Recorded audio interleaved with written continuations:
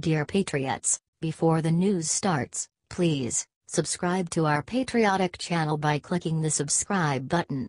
Give us a thumbs up to this video. Don't forget to leave your opinion below in the comments section. Share the news on Facebook and Twitter so you friends see it. Thank you. Jesse Jackson was just diagnosed with awful incurable disease. Jesse Jackson was just cured with an awful, incurable disease. He made the announcement in a statement on Friday. My family and I began to notice changes about three years ago. For a while, I resisted interrupting my work to visit a doctor.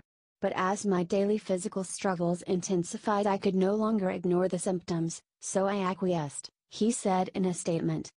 Jesse Jackson has been diagnosed with Parkinson's disease. Recognition of the effects of this disease on me has been painful, and I have been slow to grasp the gravity of it. For me, a Parkinson's diagnosis is not a stop sign but rather a signal that I must make lifestyle changes and dedicate myself to physical therapy in hopes of slowing the disease's progression, said Jackson. Jesse Jackson has been very vocal against President Trump, especially against his comments regarding NFL football players disrespecting the flag. To go from picking cotton balls to picking footballs and basketballs without freedom is not very much progress, said Jackson of multimillionaires being told to stand for the national anthem. The players are objectified in a sense. Mr. McNair is a product of the South. They act like he's a victim or misunderstood, but those players have made him a wealthy man, said Jackson in a recent interview.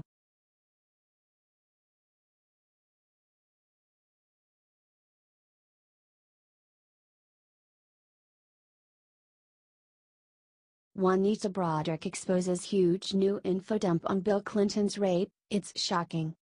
Bill Clinton's rape victim Juanita Broaddrick has been sharing her story for years. I was 35 years old when Bill Clinton, Arkansas Attorney General raped me and Hillary tried to silence me. I am now 73. It never goes away, she tweeted. Now after the liberal media has shunned her and demeaned her for years, they now suddenly believe her.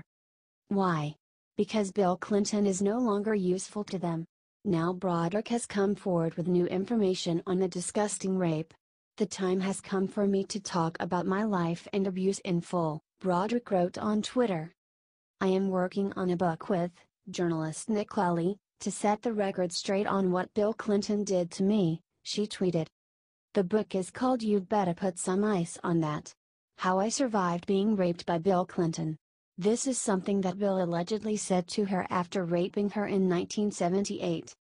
This is the part that always stays in my mind, the way he put on his sunglasses. Then he looked at me and said you better put some ice on that. Then he left, explained Broaddrick. The media has been hypocritical and cruel to Broaddrick for years. It is great they are finally listening to her. If only the reasons why weren't so pathetic.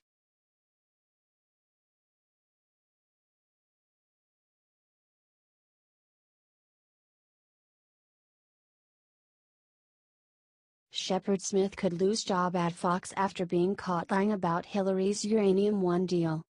Fox's Shepard Smith went on a long rant defending Hillary Clinton from the Uranium One scandal. Breitbart, as well as many other sources have pointed out the lies in Smith's rant. Now people are angry.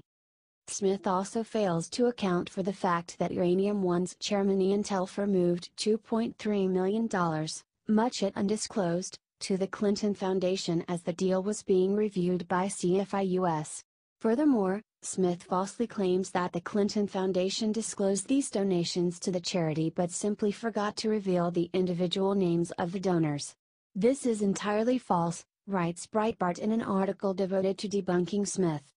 This isn't all but many fans all over the internet are demanding that Smith be fired from Fox or move to CNN, where he really belongs. Shepard Smith needs to move to CNN. He is as big a Trump hater as the other fools on CNN. Fox should dump him, writes on user. Did anyone watch Shep Smith, just explain how Hillary Clinton had nothing to do with uranium deal? What a joke Fox News. Sent him to CNN, wrote another. I normally don't tune into Shep's hour on Fox, can't stand his bias, but today while surfing channels he caught my interest. In 3 MTS he argued Hillary's defense, how she had nothing to do with Uranium One and how Trump had lied about it. He has to go. Wrote another. Hundreds of users made similar comments. Do you think Fox will listen to their fans and give Smith the boot he deserves?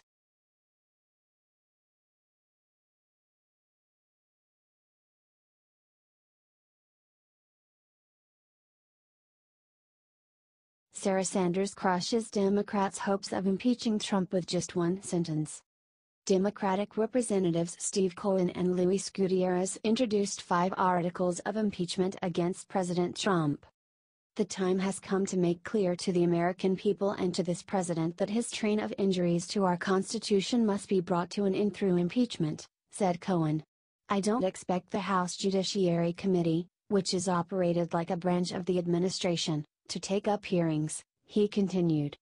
There are many reasons why I think the president is an awful president, an awful person, but not all those reasons rise to the level of impeaching a sitting president. We are not seeking his impeachment because of what he did before he was president, said Gutierrez. Sarah Huckabee Sanders shut down their parade in just one sentence.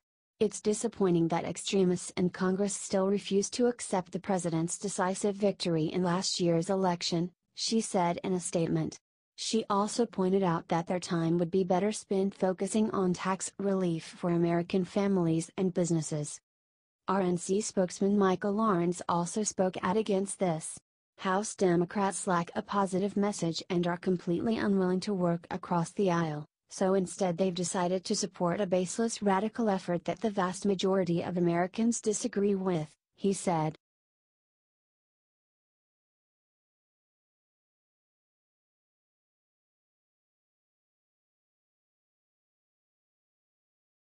Watch CNN's Brooke Baldwin call President Trump a racist for saving the lives of black UCLA players. President Trump negotiated and freed three American UCLA basketball players who were arrested and imprisoned in China. Do you think the three UCLA basketball players will say thank you President Trump? They were headed for 10 years in jail. Tweeted President Trump. Although Trump just saved the lives of these players, according to CNN's Brooke Baldwin, Trump's tweet makes him a racist. You have these three black men and you have this white president, and part of it has been the undertone of based on previous tweets. Said Baldwin. I'm just going to go there, and where I'm going with it is that you have this president essentially saying to these three black men, essentially like, Where's my apology? She said, even though President Trump didn't say, Where's my apology? But truth has never stopped CNN before. You better thank me, because I got you home. And isn't it amazing to see three black athletes thanking the president? Responded guest SE Cupp in agreement. I don't think that's going to make someone like Colin Kaepernick second guess his thoughts on police brutality, or any of the other athletes who have serious issues with race in this country or police brutality. I don't think it is going to change their minds. But, Trump got a very small ego boost today, he said. This is terrible they will insult President Trump no matter what he does.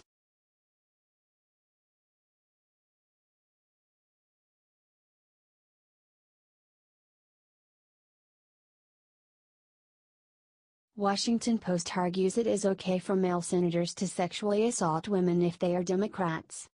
As decent people on both sides of the aisle are calling for sexual assaulters to leave their positions of power, the Washington Post argues that it is actually totally fine to sexually assault women if you are a Democrat.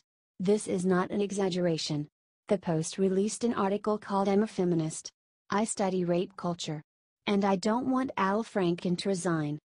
Cynics on both the right and left will presume I am passing by this particular steam tray on 2017's smorgasbord of feminist outrage because Franken is a Democrat, and so am I.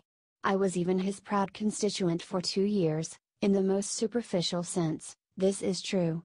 But it's meaningless to say it's because I am a Democrat without asking why I am a Democrat, wrote the supposedly feminist author. If you understand what it means to be a Democrat today, that is, why it makes sense to vote blue over red in this highly polarized political environment, you can understand why it might not make the most sense to demand Franken's resignation, effective immediately. She wrote. I am a Democrat because I am a feminist who lives under a two party system, where one party consistently votes against the interests of women while the other sometimes does not. I am not a true believer in the party itself nor in any politician, she writes. I am a realist who recognizes that we get two viable choices, and Democrats are members of the only party positioned to pump the brakes on Republicans' gleeful race toward Atwoodian dystopia, she writes. This is an absolute disgrace.